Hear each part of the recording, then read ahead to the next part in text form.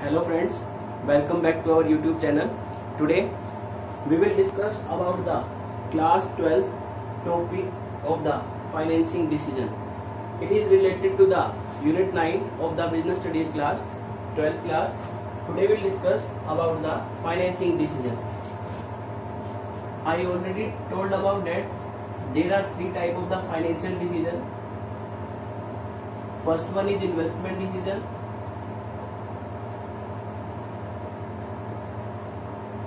second one is financing decision.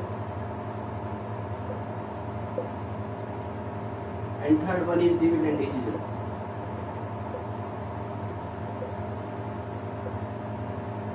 In our previous video i already discussed about the investment decision short term long term investment decision as well as the factor affecting the investment decision. In today's class we will discuss about the financing decision as well as the factors of the financing decision. Now what is financing decision? Financing decision it refers to the determination as to how the total funds required by the business will be obtained from various long term sources means आपका जो financing decision है, वो क्या है? एक type से determine करना है डिसाइड करना है कि बिज़नेस ऑर्गेनाइजेशन को जितना भी फंड चाहिए how much finance will be required it will be take about the decide and it will be involve in the investment decision business organisation को कितना फाइनेंस चाहिए?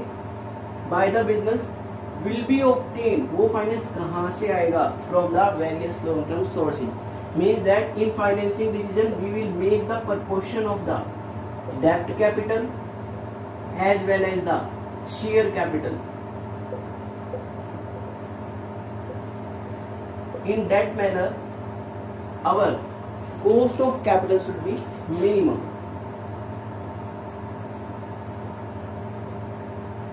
the proportion of the debt capital and the share capital in that manner our cost of capital will be minimum.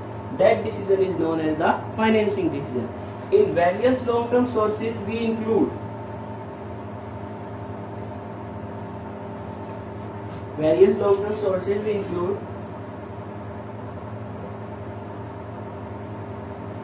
equity share capital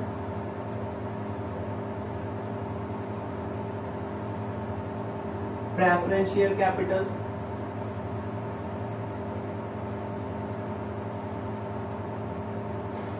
debenture retain earning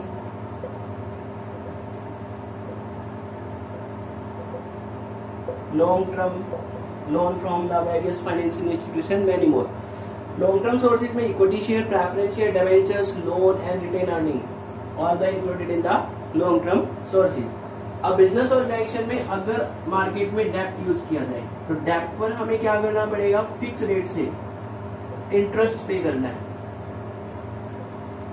We will have to make payment on the debenture और the interest with the fix rate as well as if we issue the dept it is the responsibility of the business to make the payment of the interest as well as the refund of the amount refund of the capital refund of the amount of which we received from the issue of the debentures as well as the debt capital. So debt capital create a fixed burden on the firm. आपकी जो डेप्ट capital है कभी भी market में डेप्ट capital से आप मनी कलेक्ट कर रहे हो डेबेंचर इशू कर रहे हो तो कंपनी के ऊपर एक फिक्स बर्डन आएगा वो फिक्स बर्डन भी किस चीज़ का क्योंकि डेबेंचर होल्डर को कंपनी को हर ईयर हर साल एक फिक्स रेट से इंटरेस्ट देना पड़ता है, चाहे कंपनी को प्रॉफिट हो या लॉस हो। उन्हें फिक्स रेट से इंटरेस्ट देना ही पड़ेगा, इसलिए फिक्स बर्डन है। और साथ के साथ एक फिक्स टाइम के बाद उनकी कैपिटल भी वापस करनी है। तो डेप्ट कैपिटल को कंसीडर करते वक्त ये दोनों चीज़ें हमें एनालिसिस करनी पड़ती है कि हम फिक्स रेट से इंटरेस्ट की पेमेंट कर पाएँगे या नहीं, और उनकी कैपिटल जो है फिक्स टाइम के बाद वापस करेंगे या नहीं। इसी तरह आपका जो सेकंड बनता है, वो बनता है equity share capital equity share capital वैसे तो कंपनी के रियल ओनर होते हैं इसके लिए कंपनी बिल्कुल फ्री है कि वो कंपनी डिविडेंड पे करना चाहे तो कर भी सकती है और डिविडेंड पे करे तो ज़्यादा डिविडेंड भी पे किया जा सकता है। तो एक टाइप से कंपनी फ्री है, उसे डिविडेंड प्रोवाइड करना है, नहीं करना बट आपके जो इक्विटी शेयर कैपिटल से आपकी जो मनी कलेक्ट होती है, वो आपके इक्विटी शेयर होल्डर्स हैं और कंपनी में सबसे पहले जो कैपिटल कलेक्ट की जाती है, वो इक्विटी शेयर को इश्यू करके ही कलेक्ट करते हैं। तो आपकी जो numbering of equity share holders है, वो आपकी कितनी है? बहुत ज़्यादा है। तो इस केस में आपकी जो इक्विटी शेयर कैपिटल है, वो कंपनी के लिए क्या बन जाएगी? कॉस्टली बन जाएगी। आपकी जो इक्विटी शेयर कैपिटल है, वो कॉस्टली है और जो डेप्ट कैपिटल है, वो क्या है? चीप है। वो क्यों? क्योंकि डेप्ट जो है, वो हमारी फिक्स्ड अमाउंट है। कम डिवेंचर हम इश्यू करते हैं तो उन्हें फिक्स रेट पर इंटरेस्ट ही देना है, इसलिए इसको चीप कैपिटल बोला है। इसको कॉस्टलियर क्यों बोला है? क्योंकि अगर कंपनी के पास बहुत ज़्यादा प्रॉफिट हो जाए तो उस केस में कंपनी को ज़्यादा पार्ट प्रॉफिट का इक्विटी शेयर होल्डर में डिवाइड करना पड़ेगा और आपके इक्विटी शेयर होल्डर की नंबरिंग जो है बहुत ज़्यादा है। इसलिए इक्विटी शेयर कैपिटल को कॉस्टली माना गया है। तो हमें क्या करना है? कभी भी फाइनेंसिंग डिसीज़न लेना है तो हमें इन दोनों फैक्टर्स को डेप्थ को और इक्विटी को दोनों का एनालिसिस करने के बाद इस तरह से मिक्सअप करना है the proportion of the depth capital as well as the equity capital share capital our cost of capital will be minimum हमारी कॉस्ट ऑफ़ कैपिटल कम से कम है। उस डिसीज़न को क्या बोलते हैं? Financing decision I hope it's clear to you now the factors affecting the requirement of the financing decision हमारे जो फैक्टर्स हैं, जो फाइनेंसिंग डिसीज़न को अफेक्ट करेंगे, वो कौन कौन से हैं? Factors affecting the requirement of financing लीजिए ये कर लीजिए फैक्टर्स अफेक्टिंग द फाइनेंसिंग लीजिए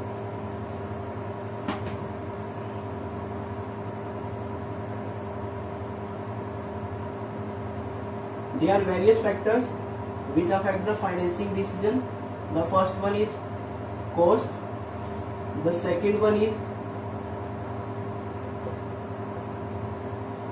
risk Third one is flotation cost. And the fourth one is level of fixed operating cost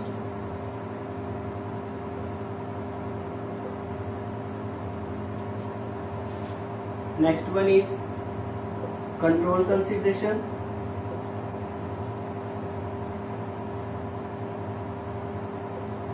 next one is level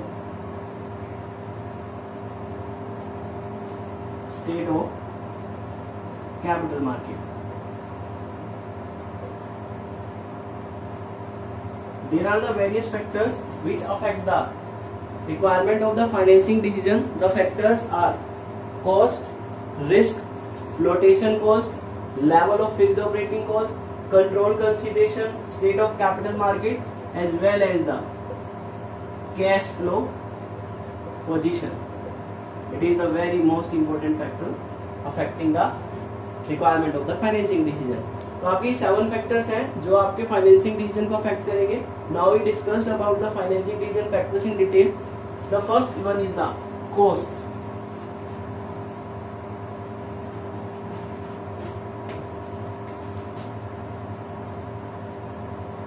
cost के ऊपर बात की जाए तो हमारे जो सोर्स है शेयर कैपिटल और सेकंड वन है आपकी डेप्ट कैपिटल डेप्ट कैपिटल के अंदर हम फिक्स बर्डन को मींस डिवेंचर को, या आप प्रेफरेंस शेयर को कह सकते हो, जिनको इंक्लूड किया जाता है. डिवेंचर पर हमें फिक्स रेट से इंटरेस्ट की पेमेंट करनी पड़ेगी, और प्रेफरेंस शेयर पर फिक्स रेट से हमें डिविडेंड की पेमेंट करनी पड़ेगी. तो आपकी जो डेप्ट कैपिटल है वो फर्म के लिए क्या एक cheapest source of the capital है? क्योंकि इस पर हमें फिक्स रेट से इंटरेस्ट और डिविडेंड देना है। लेकिन अगर शेयर कैपिटल की बात की जाए equity share capital it is the costly capital of the firm because if we have more profit in the business organisation and after the arrangement after the adjustment of the various liability various of the expenses of the business the remaining the residual profit will be provided to the equity share holder so it is the costlier capital of the business.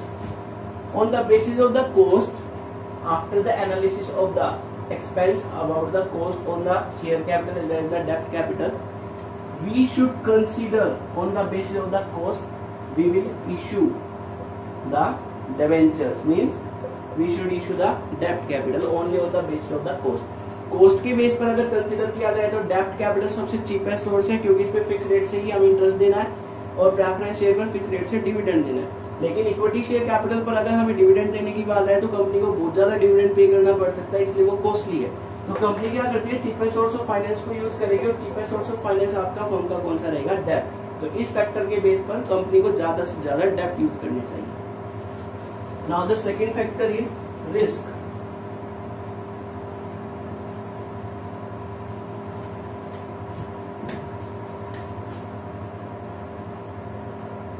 risk. On the basis of the risk point of view, the debt capital is the more risky and the share capital means the equity capital is the less risky. Because if we do not make any type of the payment to the shareholder, then they do not have any type of the right to file a case on the company on the behalf of do not receive the any type of the share in profit. But the debt capital is the risky capital how? Because if we do not make payment of the fixed interest to the debenture holder, then the debenture holder and the debt, debt holder have full right to file a suit, a file a case on the company to demand for the share, demand for the interest on the fixed amount. So, on the risk point of view, we should avoid, we should ignore the debt capital.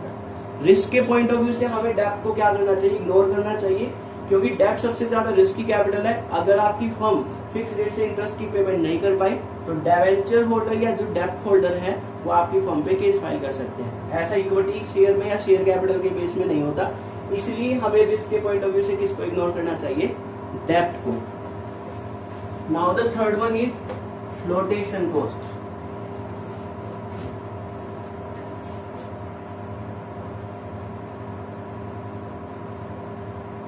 On the basis of the flotation cost, we neither use the equity share, we nor use the debt as well as the debenture and the preference share. But on the basis of the flotation cost, we should use our reserve, means our profit which we make, which we use, which we retain in a business organization for meeting the future requirement.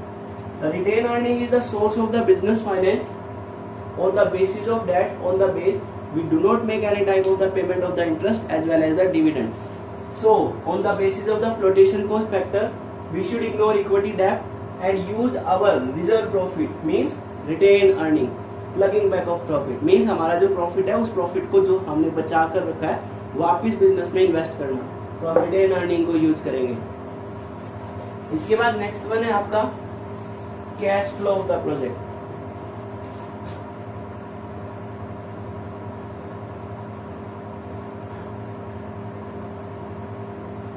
cash flow of the project i already explained in our previous video about the cash flow the cash flow is the cash outflow as well as the cash inflow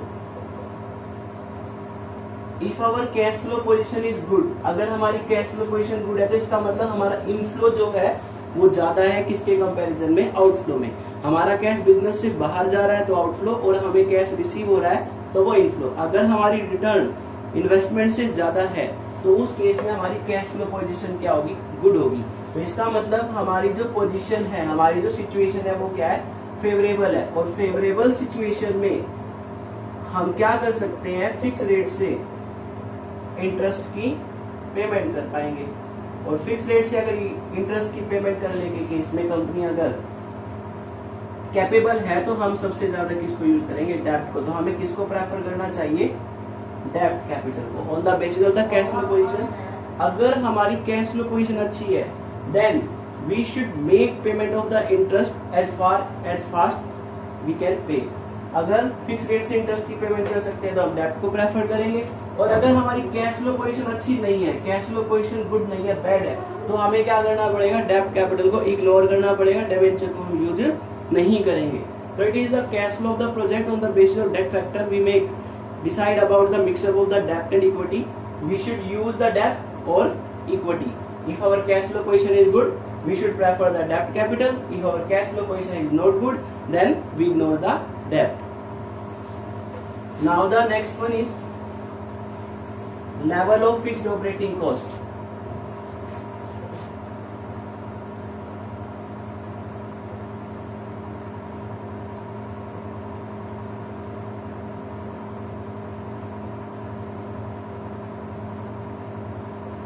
Level of fixed operating cost there are two type of the cost. Fixed operating cost as well as fixed financial cost. In business there are two type of the cost fixed operating cost as well as the fixed financial cost. In fixed operating cost we include the payment of rent of building payment of salary as well as the any fixed burden on the company about the operation related to the insurance premium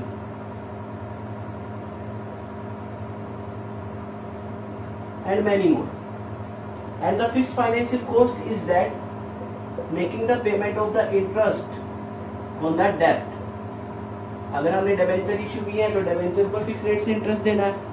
bank से loan ले रखा है financial institution से loan ले रखा है तो वो हमारी क्या होगी? फिक्स्ड फाइनेंशियल कॉस्ट अब कंपनी के पास दो टाइप की कॉस्ट है फिक्स्ड ऑपरेटिंग कॉस्ट और फिक्स्ड फाइनेंशियल कॉस्ट अब कंपनी की दोनों कॉस्ट जो है कंपनी एक ही टाइम में सेम टाइम में बियर नहीं कर सकती. अगर कंपनी की ऑपरेटिंग कॉस्ट ज़्यादा है तो कंपनी को क्या करना होगा? फिक्स्ड फाइनेंशियल कॉस्ट कम करनी होगी. और अगर कंपनी की ऑपरेटिंग कॉस्ट कम है तो कंपनी अपनी फाइनेंशियल कॉस्ट को बढ़ा सकती है. तो इन दोनों के बारे में हमें डिसाइड लेना पड़ता डिसीज़न लेना पड़ेगा, लेकिन उससे पहले ये क्लियर हो कि ऑपरेटिंग कॉस्ट कौन सी है फाइनेंशियल कॉस्ट कौन सी है। ऑपरेटिंग कॉस्ट जो बिज़नेस की डेली बेसिस के ऑपरेशन से रिलेटेड है बट फिक्स है। जैसे हमारा स्टाफ परमानेंट है, उसको सैलरी देनी है। हमने बिल्डिंग ले रखी है रेंट पे उसका रेंट देना पड़ेगा। इंश्योरेंस प्रीमियम की पेमेंट करनी पड़ेगी, चाहे वर्क हो या ना हो। ऐसी फाइनेंशियल कॉस्ट है, अगर हमने डिवेंचर को यूज़ कर रखा है बैंक से लोन ले रखा है तो उस पर फिक्स रेट से इंटरेस्ट देना ही पड़ेगा। तो इन सभी को क्या बोलते हैं? यहाँ ऑपरेटिंग कॉस्ट और इसको फाइनेंशियल कॉस्ट तो इसके बेस पर डिसाइड करना पड़ेगा, अगर आपकी दोनों में से हम क्या करेंगे? एक को चूज़ करेंगे, या तो ऑपरेटिंग कॉस्ट को या फिर फाइनेंशियल कॉस्ट को. अगर बिज़नेस ऑर्गेनाइजेशन की जो ऑपरेटिंग कॉस्ट है ऑपरेटिंग कॉस्ट ज़्यादा है मोर तो हमें अपनी जो फाइनेंशियल कॉस्ट है फिक्स्ड फाइनेंशियल कॉस्ट उसको कम करना पड़ेगा मिनिमम करना पड़ेगा। तो कहने का मतलब फाइनेंशियल कॉस्ट को कम करने के लिए हम किसको इग्नोर करेंगे? डेप्ट को। अगर हमारी ऑपरेटिंग कॉस्ट ज़्यादा आ रही है तो उस केस में ऑपरेटिंग कॉस्ट को फेस करने के लिए बियर करने के लिए हम अपनी फाइनेंशियल कॉस्ट को क्या करेंगे? इग्नोर करेंगे। तो डेप्ट को इश्यू नहीं किया जाएगा।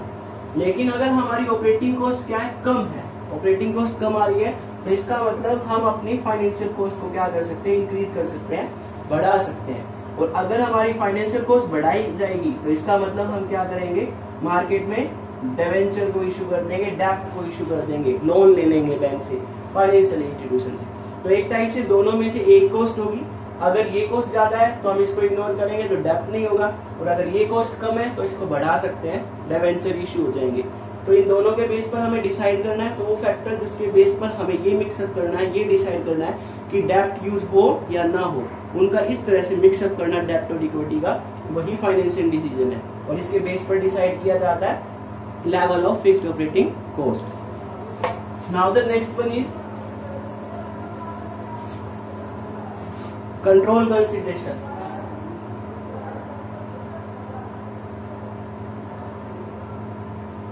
control consideration means control on the business. Control on the company. कि बिज़नेस का जो कंट्रोल है, वो कुछ पर्सन के हाथ में होता है। और बिज़नेस ऑर्गेनाइजेशन में अगर आप देखा जाए तो जो रियल ओनर है आपके, वो कौन होते हैं? इक्विटी शेयर होल्डर्स और कंपनी के इक्विटी शेयर होल्डर की नंबरिंग ज़्यादा होगी तो मैक्सिमम कंट्रोल वो फ्यू पर्सन के हाथ में ही होगा।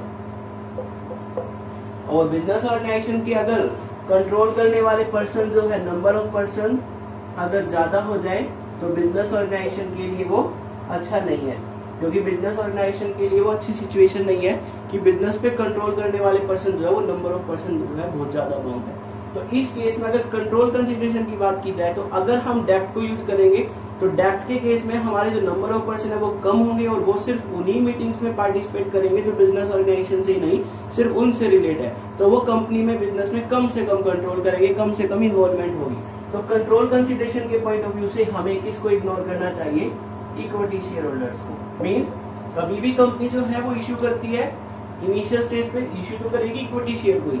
लेकिन बात की बात की जाए तो सिर्फ़ इस पॉइंट ऑफ़ व्यू से वो अगर आप कंसिडर कर रहे हो कंट्रोल कंसिडरेशन को।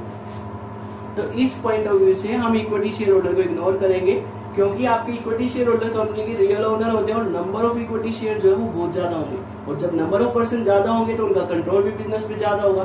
तो एक टाइप से कंपनी के अंदर अच्छी डिसीज़न नहीं ली जाएगी कंपनी के लिए अच्छी सिचुएशन नहीं होगी। तो सिर्फ़ इस फैक्टर के बेस पर हमें इक्विटी शेयर को क्या करना चाहिए? इग्नोर करना चाहिए।